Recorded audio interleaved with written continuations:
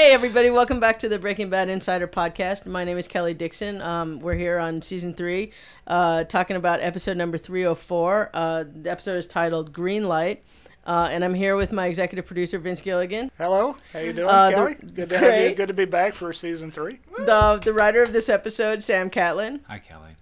And my very special guest star today, Betsy Brandt, who plays Marie on the show. Hi.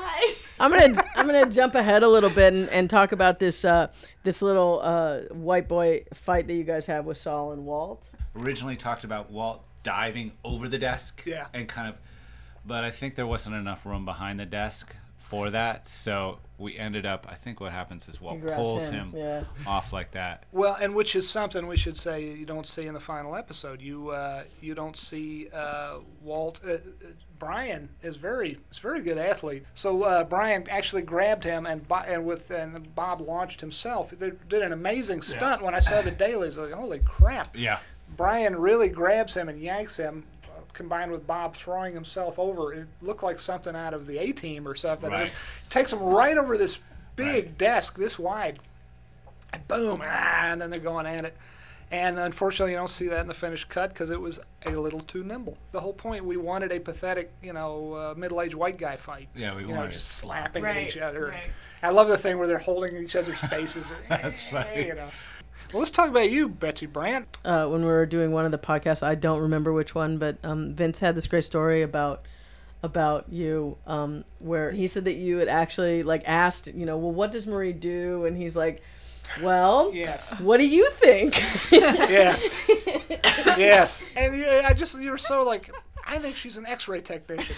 It was like so specific. I didn't know white that. I didn't know that So you came up specific. She with wears a yeah, white it was- it coat was with a little badge and everything. It was so. Like I'd love her to wear a coat. It was the kind of thing a writer would make up because Yeah. it was so wonderfully specific. Just enough information to be a know-it-all, but Yeah, yeah, yeah, yeah. not enough information to be helpful in any real To way. read him, she can't, you know. I, I mean, she can put a band-aid on, but I don't even know if she'd be that handy with a first aid kit. Well, But you know what? I wanted her to be in the medical field, but I didn't want her to be a doctor because I just didn't want her to be a doctor, and I, I didn't want her to know too much. yeah. I wanted her to know something, Yeah, yeah. you know, and be in the medical field and be familiar, but not be not be a doctor and, and you know understand Walt's situation in that way, and then other things. I have a question for you then. Since you've done all of this backstory, if you've come up with the purple obsession. Oh, hmm. We all had our colors Yeah. in the beginning, and I think because Marie is just such a strong person. I mean, nothing is. Mm-hmm. I, I think don't waste anything, you know.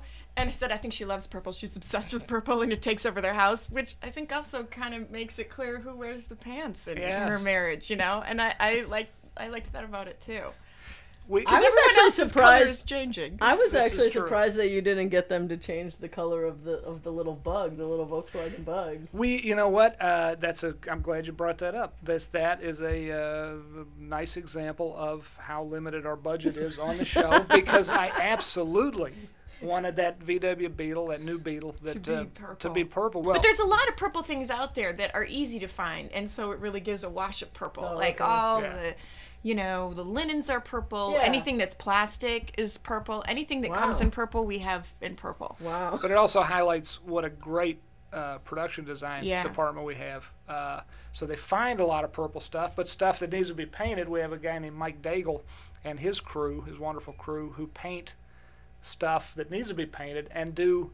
And you're like, yeah, okay, you slap a coat of paint. You know, no, there's so much more to it than that. Like we'll need a close up of a guy lying on the ground, and it needs to look like asphalt. So he and his crew will be in there you know, like you know Michelangelo or something, making a sheet of plywood look like asphalt or whatever. It's just amazing uh, Yeah, talent we what have it- behind yeah, the camera can on this show.